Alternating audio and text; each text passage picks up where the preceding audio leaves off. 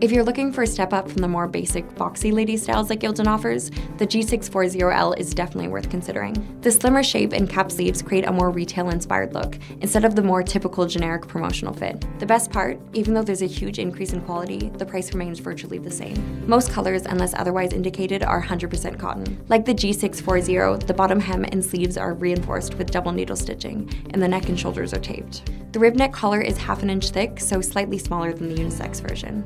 Both have classic side seamed construction. The SoftStyle line by Gildan is extremely versatile. If you're looking to outfit a younger demographic, take a look at the G645B for youth or the G645P for toddlers.